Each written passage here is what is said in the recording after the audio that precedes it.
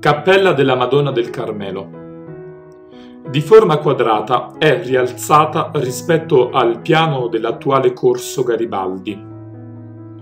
Il portale in pietra è sormontato da una piccola edicola con affresco raffigurante la Vergine con bambino.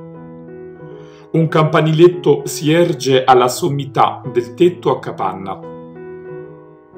Nell'interno la piccola aula è coperta da una volta a crociera e le decorazioni e le modanature sono realizzate in stucco.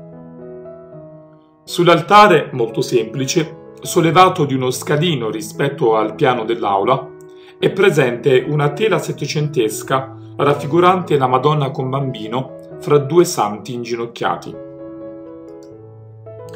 Si segnala di fronte alla cappella, murato sulla facciata di un'abitazione privata, un frammento di basso rilievo in calcare.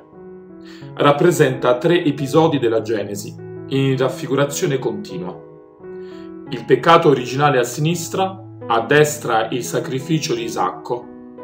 La scena centrale è composta da due figure maschili togate e reggenti in mano un rotolo, con una donna inginocchiata dinanzi e forse rammentano l'incontro di Sara, moglie di Abramo, coi messi divini, i quali venivano ad annunziarle che sarebbe stata madre.